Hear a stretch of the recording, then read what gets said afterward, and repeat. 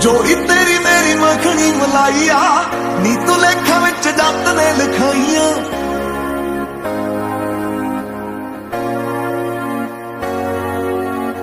ਜੋੜੀ ਤੇਰੀ ਮੇਰੀ ਮੱਖਣੀ ਮਲਾਈਆ